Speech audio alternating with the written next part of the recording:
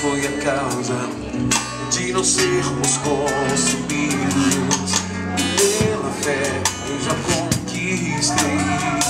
Nela tenho a força pra vencer. Bendito seja o Senhor que ouviu meu clamor e os meus inimigos ele fez cair. Eu clamei por ti.